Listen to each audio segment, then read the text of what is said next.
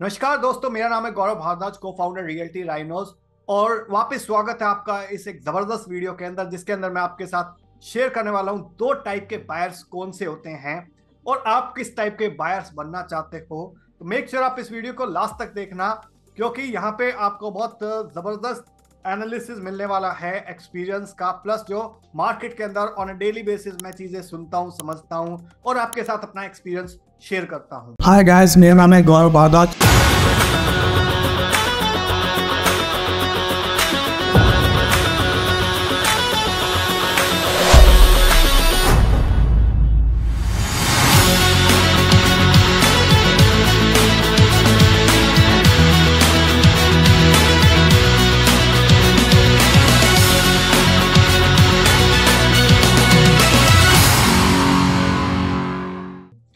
दो टाइप के बायर है। पहले बायर वो हैं जो डिसीज़न को डिले करते हैं। आज नहीं लूँगा एक महीने बाद लूँगा तीन महीने बाद लूँगा छह महीने बाद लूँगा एक साल बाद लूँगा दो साल बाद लूँगा पाँच साल बाद लूँगा दस साल बाद लूँगा मर जाऊँगा जब लूँगा। देखा आपने लापरवाही का नतीजा है। दूसरे टाइप के बायर्स वो हैं रियल एस्टेट के अंदर जो क्विक डिसीज़न मेकर्स हैं जो डिसीज़न क्विकली लेते हैं। तो इन दोनों का आ, के अंदर फ़र्क क्या रहता है? आई एम श्योर आप भी उस चीज़ को कोऑर्डिनेट कर पाएँगे। तो जो पहले टाइप के बायर है जो डिसीज़न को डिले करते हैं कि मैं बाद में ले लूँगा एक महीने बाद लूँगा तीन महीने बाद लूँगा उनके साथ क्या होता है? वो बाद में पछताते हैं। रिग्रेट करते हैं कि यार मेरे को डिसीज़न ले लेना चाहिए था उस टाइम स्पेशल 26 ऑफ़र आया था मेरे को जनवरी में डिसीज़न लेना चाहिए था 26 परसेंट ही पेमेंट देनी पड़ रही थी। मेरे को फरवरी में डिसीज़न ले लेना चाहिए था। होम फॉर फ्री मिल रहा था, पाँच परसेंट का डिस्काउंट मिल रहा था, पाँच लाख तक का डिस्काउंट मिल रहा था। साढ़े छह छह हज़ार रुपए फ़र्स्ट के पे प्रॉपर्टी मिल रही थी। दस हज़ार तीन सौ रुपए का रेट मिल रहा था वन डी एक्सपी में। वो लोग रिग्रेट करेंगे अगले महीने, मार्च में। यहाँ पे वो अपॉर्चुनिटी मिस आउट कर जाते हैं और पैसा लूज करते हैं। और वो एक्चुअल जो रिटर्न ऑन इन्वेस्टमेंट होती है, वो इंजॉय नहीं कर पाते। क्यों? क्योंकि वो सही टाइम पे और सही प्राइस पे, सही समय पर सही भाव पे प्रॉपर्टी में एंटर नहीं कर पाते और बाद में पछताते हैं। और बाद में एक्सपेक्ट कर सकते हैं मुझसे या बिल्डर से कि मुझको पहले वाला ऑफ़र दे दीजिए प्लीज़ करवा दीजिए, कहीं से करवा दीजिए, वो इन्वेंट्री दिलवा दीजिए जो मेरे को मिल रही थी। मेरे को धूप वाली इन्वेंट्री चाहिए थी जहाँ पे अच्छी धूप आती है। मेरे को वो इन्वेंट्री चाहिए थी जहाँ पे सेंट्रल ग्रीन फेसिंग हो लेगून फेसिंग हो लेक फेसिंग हो। और वो इन्वेंट्री निकल जाती है तो उसके बाद वो पछताते रहते हैं। जैसे सांप निकलने के बाद लाठी पीटते हैं ना, वैसे पछताते रह जाते हैं। वो उस टाइप के बायर्स हैं। मैं आपको एक स्टोरी सुनाता हूँ। एक बार बाप और बेटे जा रहे थे साइबर सिटी से। तो बाप बेटे को बोलता है कि, बेटा देखो, जब मैं आता था ना यहाँ पे 20 साल पहले, या कुछ नहीं हुआ करता था, यहाँ दूर दूर तक खेत हुआ करते थे, यहाँ पे प्लॉट्स काट रहा था डीएलएफ ओके, और ये बिल्डिंग्स वगैरह कुछ नहीं होती थी। वहाँ पे आपको पता है रेट बेटा, उस टाइम पे 2000 4000 5000 रुपए गज हुआ करते था। एक वो टाइम था, और देखो कितनी चीज़ें चेंज हो गई। और अंदर ही अंदर उनका जो बेटा है, उसको गाली दे रहा होता है कि, बाप, अगर उस टाइम तूने डिसीज़न ले लिया होता, उस टाइम तूने प्रॉपर्टी यहाँ खरीद ली होती तो मेरे को आज स्ट्रगल ना करना होता। मेरी जो प्रॉपर्टी है, वो करोड़ रुपए की हो चुकी होती। Okay so I hope you are getting my point second यहाँ पे अभी बहुत सारे लोग अभी रोज कहानी सुनते हैं कि कल भी मैं बैठा हुआ था तो बता रहे थे कि न्यू पालम विहार में ना एक टाइम पे रेट होता था, और तीन हज़ार रुपए गज, पाँच हज़ार रुपए गज।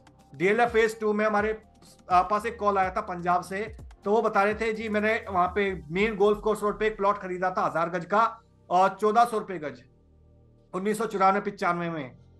तो उनको ये बताया जाता था कि देखो भाई साहब, वो जो पेड़ है ना, उसके पीछे आपका प्लॉट है, और वो आज की डेट में लगभग बत्तीस करोड़ की प्रॉपर्टी हो चुकी है। तो वो उन्होंने डिसीज़न को डिले नहीं करा, उन्होंने क्विक डिसीज़न लिया। यहाँ पे एस e के अंदर भी बहुत सारे लोग रिग्रेट करते हैं, जो आज एस e खरीद रहे हैं शॉपकॉम ऑफ़िस वहाँ पे लोग बोलते हैं कि यार, मेरे पास ना ऑफ़र आया था दो तीन लोगों से मेरी बात हुई, उन्होंने सेम पैटर्न रिपीट रिपीट किया कि यार एम थ्री एम का एस e मिल रहा था, ढाई साल पहले ढाई लाख रुपए गज में।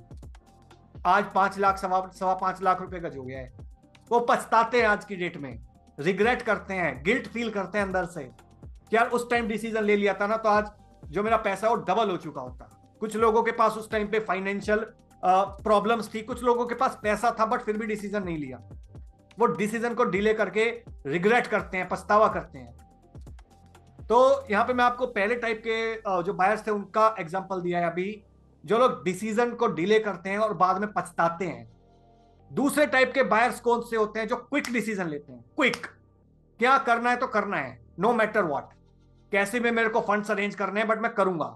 I am going to make sure मैं best offer best deal best time पे बेस्ट प्राइस पे बेस्ट बिल्डर के साथ बेस्ट लोकेशन पे लूँगा, अपने मौके की इन्वेंट्री लूँगा, उसको छोड़ूँगा नहीं, उस डिसीज़न को डिले नहीं करूँगा क्विक डिसीज़न लूँगा, अपना पैसा भी बचाऊँगा और पैसा भी बढ़ाऊँगा। वो डिस्काउंट्स भी इंजॉय करते हैं फ़र्स्ट रेट भी इंजॉय करते हैं।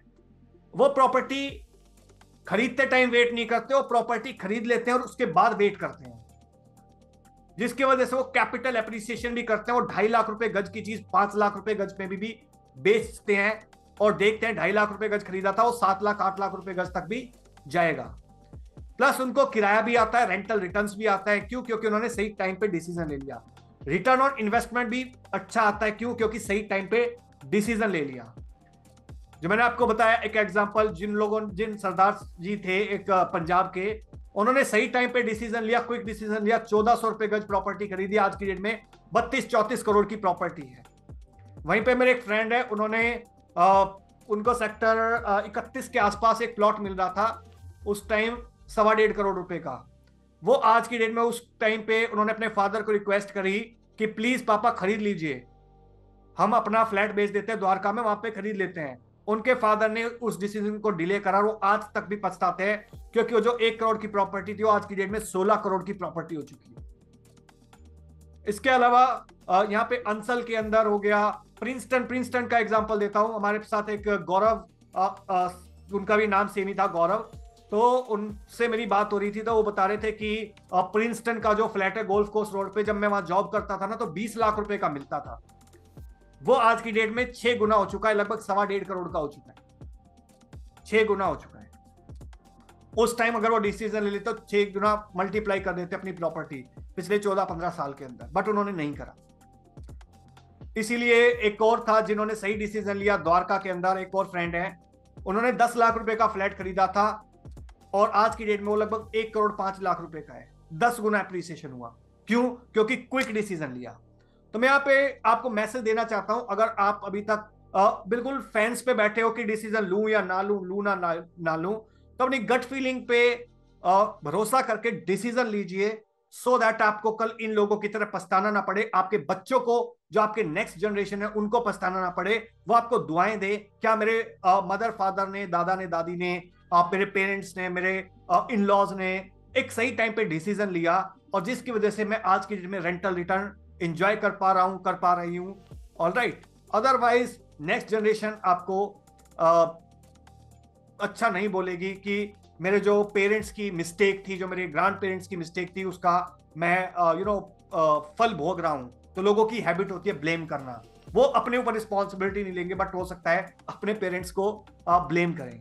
तो मेक श्योर sure आप इस डिसीज़न को डिले ना करें। अगर आप किसी भी प्रॉपर्टी को फाइनलाइज करना चाह रहे हैं तो मेक श्योर डिसीज़न क्विक लें ओके सो और अगर आप हमारी हेल्प चाहते हैं डिसीज़न लेने के अंदर कि किन प्रॉपर्टीज़ के अंदर, और किन ऑफर्स के अंदर आपको एंटर करना चाहिए रेजिडेंशियल या कमर्शियल एस या हाई स्ट्रीट रेजिडेंशियल के अंदर प्लॉट या विला अगर आप उस टाइप का डिस्कशन चाहते हो तो मेक श्योर आप इन दिए हुए नंबर पे कॉन्टैक्ट कर सकते हैं गुड़गावा रियल एस्टेट मार्केट के अंदर। So that's all about this video guys thank you so much once again for watching clear अगर आपको वीडियो अच्छा लगा हो तो प्लीज़ लाइक कर दीजिए। इनकेस अगर आपका कोई क्वेश्चन है क्वेरी सवाल है कमेंट सेक्शन में पूछ सकते हो इन दिए नंबर पर कॉल कर सकते हो। वीडियो अच्छा लग गया हो तो प्लीज़ इसको शेयर कर दीजिए अपने दोस्तों के साथ, रिलेटिव्स के साथ। जो लोग डिसीज़न डिले कर रहे हैं और जो लोग पछता रहे होंगे, ओके? तो दोनों टाइप के लोगों के साथ आप इस डिसीज़न इस वीडियो को शेयर कर सकते हैं। व्हाट्सएप पे फेसबुक पे लिंकड पे इंस्टाग्राम पे, जहाँ पे आपका दिल करे वहाँ शेयर कर दीजिए। So thank you so much for watching till here मिलता हूँ मैं भी आपको नेक्स्ट वीडियो